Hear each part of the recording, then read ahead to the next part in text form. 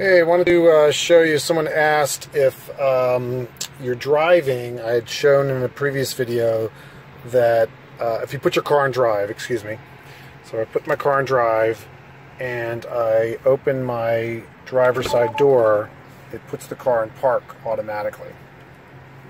So somebody wanted to see if that also occurs when you put your, uh, open a passenger door.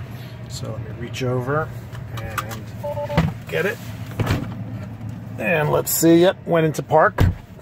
And let's try the interesting little uh, message here, vehicle automatically parked to prevent rollaway, fasten seatbelts. So let's try it with the rear door. I can reach back here and hit the rear door button and it puts it in park also. Interesting. Um, I can also show that uh, if we start driving actually, um, I have my seatbelt off so it's going to beep at us. But if I move slowly on this road and reach over, I cannot open the um, passenger door, driver door, I have to be going at least one mile an hour. If I reach back, oh, the rear door was open. Uh, but now that we're driving, a little close here.